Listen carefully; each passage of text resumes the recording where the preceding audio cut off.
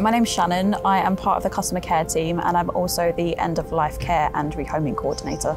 My name's Kezia. I work as a community engagement assistant and an end of life care and rehoming coordinator at the Ralph. It's a veterinary referral centre, um, which means patients are referred to us from primary care practices. Because we're a specialist hospital, it means that by the time patients come to us, they're, they're often critically ill. Both of us work here alongside Dignity as part of the end of life care team um, for both patients and their families. I didn't know about Dignity until I started working at the Ralph and I got involved in end of life care because of how ethically and compassionately the patients are treated even after they pass away and Dignity really enables that to continue after the patients have left the Ralph.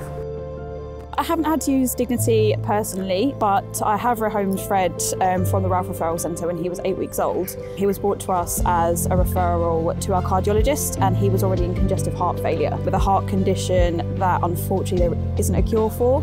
So we essentially took him home, not really knowing how much time we would have with him.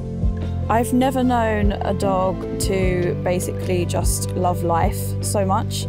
He is a super, super happy boy. It's very, very obvious when he's not feeling well um, because he'll go from just being incredibly enthusiastic. So I had already known at that point after working um, with Dignity at the Ralph over the last couple of years that that would be my choice. I also really liked having the option to be with Fred right up until the last steps. So knowing that I could go, you know, that entire journey with him right up until the last moment was really comforting and really important to me. And also just the amount of options that Dignity offer in terms of um, aftercare wishes and keepsakes. Having such varied options and knowing that I could choose something that was going to be really meaningful as well and not having such a limited choice and having to just kind of make do with my decisions. Luckily, he's 18 months old. Um, he's defying all of the odds at the moment in terms of his health. After a patient dies, part of mine and Shannon's role is to speak with carers about their aftercare wishes. And it's so nice within those conversations to be able to speak with such trust and confidence about dignity. If the carer chooses dignity, then we call dignity. They pick up so quickly. We request collection of the pet and they usually come the same day to collect them. And dignity never fail to give us a call to let us know that they've received that request so no information is lost. Pet carers may not know about all the team members who are behind the scenes, but from a practice perspective, the phone teams, the driving teams, they're just all so lovely to interact with.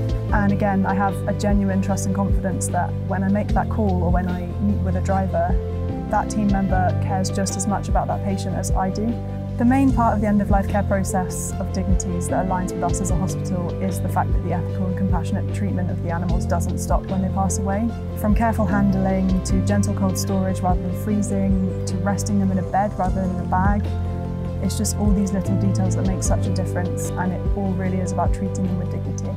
When talking about my role, people often say, oh, that must be really hard. But actually for me, knowing that places like Dignity exist and knowing that animals are getting the treatment that they deserve because we love them so much. It's, it's really like an important thing to me. It's the littlest things that make the biggest difference and that's how I'd summarise dignity. Lots of little thoughtful things that come together to make a big difference to, to the patients and to the families who miss them.